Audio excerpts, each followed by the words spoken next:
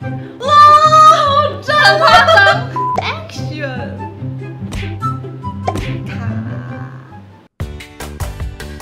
科系聊什么？Hello，大家好，我是千山。我们今天闻到了一种味道，是什么味道？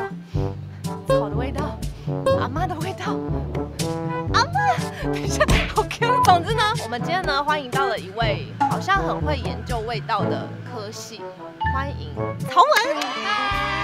耶，曹文好，你是口味系是不是？嗯。大家听到口味系第一个反应是什么？什么口味？对，巧克力口味。那你当初为什么会想要念这个科系？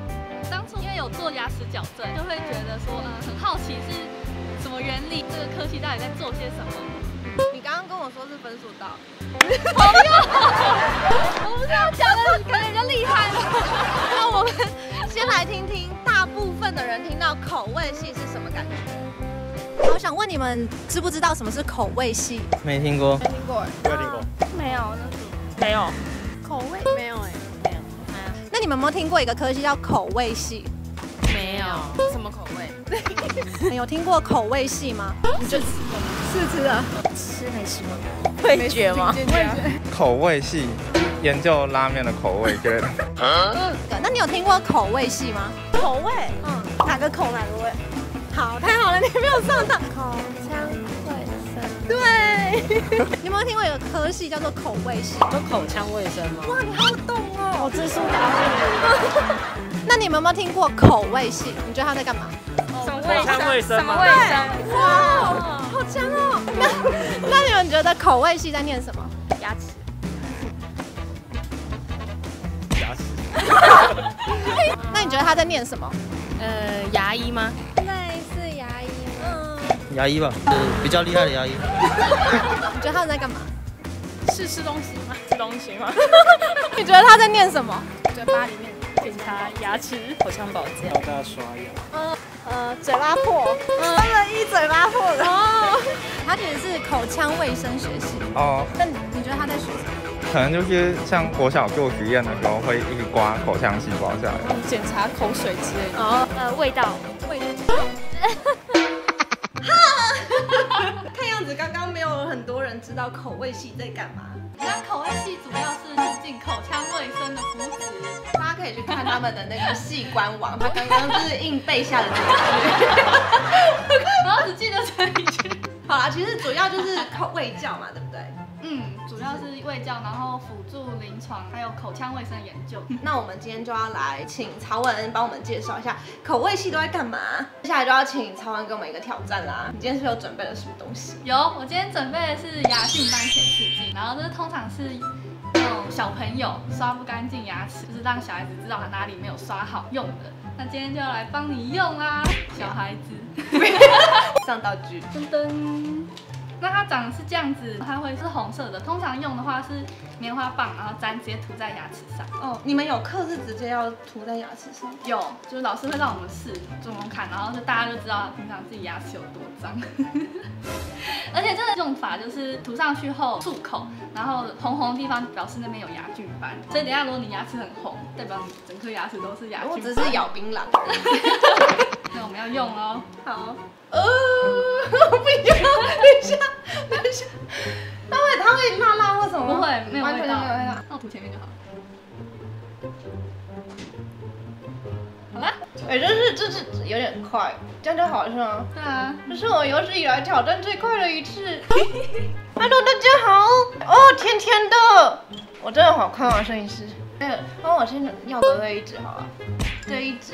我 我画不了那个那个那个字，对，就是那个。来喽！如果很红，代表你牙齿很脏哦。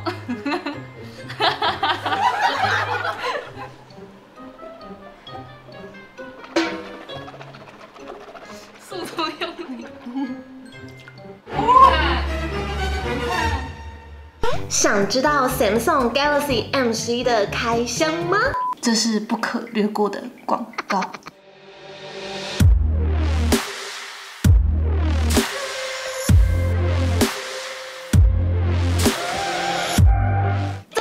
收到神送的邀请，然后这次要开箱的这台呢，就是 Galaxy M 十一的手机。这支手机呢，标榜它是一支入门款的手机，它的价位呢不超过四千元。说明书，哇，手机本体是长这样。M 十一总共出三种颜色，充电线、充电头、那个 SIM 卡插下去的针。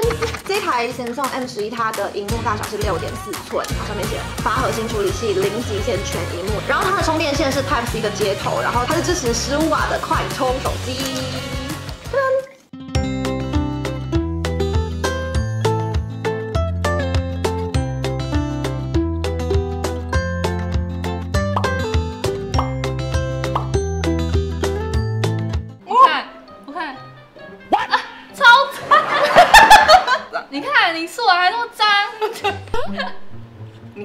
特写吗？来下一个，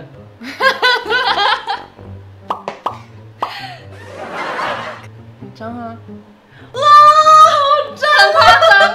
我刚我刚吃完饭，真的，我刚刚吃完饭，太夸张了。所以你你不会是这样的？要不要来试试看？不要，我刚刚也没刷。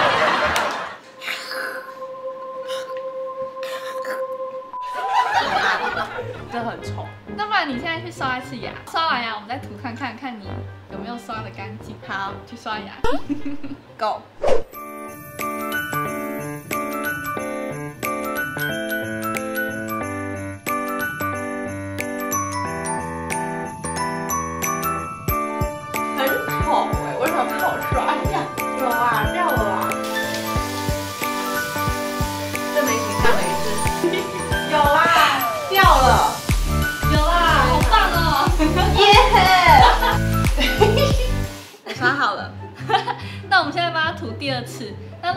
次，然后你漱完还是整个牙都红的话，代表你刚刚有刷跟没刷一样，牙齿还是一样脏。那我帮你涂喽。我现在有阴影。好，漱掉吧。我可以去演艺实录了。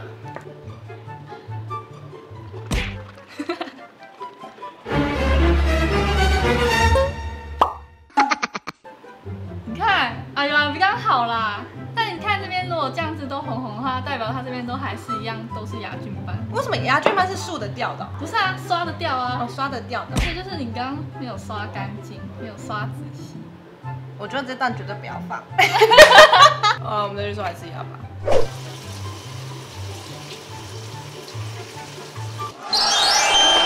耶那我们今天就要来好好聊聊口味系到底在做什么啦。好，我刷了两次牙，我现在好凉哦。好，那第一个就要问口味到底都在学什么？我们主要学的话，比如说卫教，然后就是基本的牙科相关知识啊，蛀牙、牙周病啊、病理学、药理学这些都要学。就其实我们学的还蛮广的。所以药理学也要学。嗯，因为牙科也会给药啊，就是、嗯然后比如说放射科、麻醉科这些，我们也都要大略学习。那大家应该最好奇的就是，那到底跟牙医系差在哪里？那其实跟牙医系的话，差别只是差在于他们比较多临床的部分。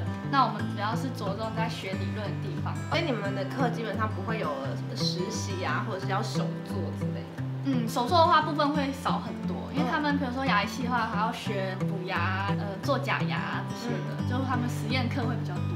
那我这样听下，我觉得口味系感觉好像刻板印象就觉得好像女生比较多，会吗？真的哦真的哦真的真的，就像是护理系女生比较多是，嗯，对啊所以你们呃系上的男女比大概是怎么样？我们班男生好像四五个吧。啊，这么少？对啊，但是我们女生我们全部三十五个，嗯嗯，所以女生大概有三十多。那我想问一些，就是你刚刚说有学卫教嘛，所以会有口腔牙牙齿有一些问题，正确的牙齿清洁应该除了刷牙以外还有什么？像是漱口水是必要的吗？漱口水不是必要，嗯漱口水跟比如说冲牙机那些都只是辅助。嗯，那真正必要的话应该是牙线，但是很少人在用牙。你会用牙线吗？我知道要用。说像你刚刚涂那个，然后你会发现牙缝这边比较红，因为牙缝牙刷也清不到啊，嗯一定要用牙线来清，嗯不然就很容易蛀牙，然后塞食物会牙龈发炎。嗯，哦，还有一个问题是，大家可能有些人的习惯是吃完饭之后会嚼口香糖。嗯，口香糖真的是有清洁的那个功用吗？清洁其实清洁不大，但是嗯它是可以帮助你口腔酸碱值。就是大家有没有小时候就是吃完午饭然后睡午觉，嗯。嗯，然后牙齿起来觉得酸酸的，嗯，那就是因为那个口腔酸碱不平衡，就是细菌在滋生才会这样酸酸的。那个像牙口香糖的话，就可以帮助你赶快恢复酸碱平衡。不是很多那个口香糖会标榜它是木糖醇嘛？对，它就是其实是就是塞了头，干嘛？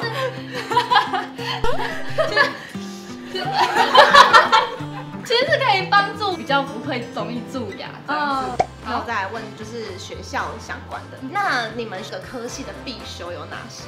就重点必修很多哎，比如说我们这学期的话，你现在大二嘛？对，我现在大二。哦，比如说哦，生统、流行病学、生物统计，这些我们也要学。其实生物统计是说，就是哪个动物比较容易生什么病的这种不是。就是统计，就统计学啦，比如说这个疾病的发生率、盛行率这种的，然后疾病营养学、麻醉科药理学、放射这学期当然有。那有没有比较特别的考试方式？哦，有，我们有一次牙材课，就是材料学，然后是让我们要抽不同的粘着剂，然后我们要当场调给老师看。粘着剂是什么？假牙粘着剂？对对对，这种的。嗯，然后其实有分很多种，比如说永久粘着剂，还有那种。填充用的，嗯，所以它是硬度不一样，粘度不一样。对对对那你们念到目前为止，你觉得最难的科目是什么？病理学。病理学。那个课的它的上法是，它就会放一张组织病变的照片，然后就跟你讲这是什么病。整堂课就是一直看照片，然后讲什么病，看照片讲什么病。不一定是口腔的疾病，嗯，但是大部分是口腔比较多啦。对对对，考试也是给你一张照片，然后叫你写它是什么病，超难的，完全不知道在干嘛。大家都考超烂，大家都三十几分，是 这么烂。正向我们问一下，就是那个口味系出来之后的工作会朝向哪些？像国外的话，主要会有那种口味师，嗯嗯，然后像台湾的话，因为口味师还没有通过，所以主要大部分学长姐都会去牙材公司啊、牙技所啊，在医院啊或临床跟诊这样。还有公家机关，对对，还有公家机关。公家机关是在做什么？比如说现在政府很推的那种长照二点零，长照二点零。对，然后就公阿妈的牙齿，对，就其实很现在很缺这一块，因为牙医是不愿意下来做，嗯，就可能会需要像我们这种口味系，就是有这种专业知识背景的人去帮忙。那我想问，就是你说国外有口味师，但是台湾目前还没有，那呃，如果有的话，口味师他应该的工作内容大概？比如说像美国、日本、澳洲这种，就是已经有口味师的。那他们的话，主要是在牙医看诊之前，先负责检查、洗牙或涂氟这种步骤。然后如果比如说帮你洗牙，然后发现你有蛀牙的话，再帮你转到给牙医师这样。所以会有一个地方是口味师待的地方。对对对。然后如果你你是先你牙齿有问题，是先来看口味师。对，就是先帮你检查，然后洗牙这样子。嗯，所以这样的话，以后变成说是什么定期检查，就是要定期去跟口味师检查。对，但是你也可以找牙医师洗啦，就是这样。因为如果你你已经觉得，嗯，哦，如果你已经觉得你已经很严重，或者你觉得你一定是有病的话，就可以去找牙医。对，哦，酷酷。那你觉得念口味系它是一件有未来的科系吗？哦，就是很多人会觉得说，嗯，现在口味师还没通过，那你这戏以后出来要干嘛？但其实我觉得这戏的远景很大，因为很多国家，比如说西方国家或者日本、澳洲这些亚洲国家，就已经有口味师存在，而且是非常纯熟。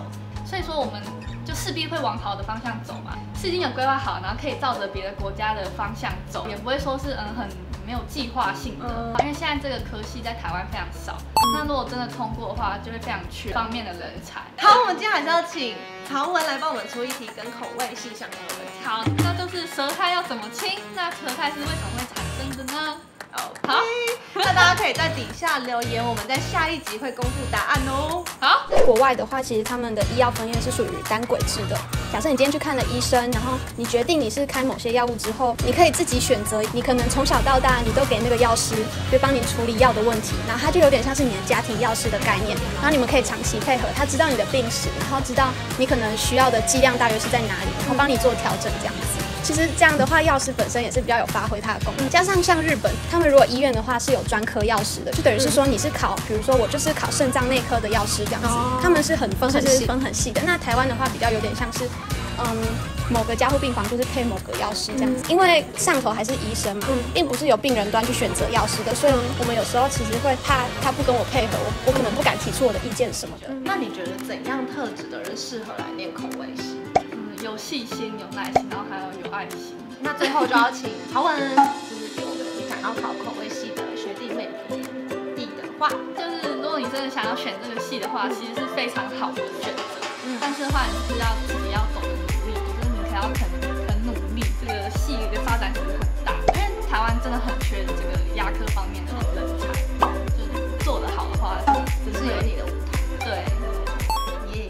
那今天非常感谢曹文来跟我们分享。呃，喜欢我的影片，记得帮我按个订阅，订阅它，订阅，订阅它，然后记得按赞分享出去。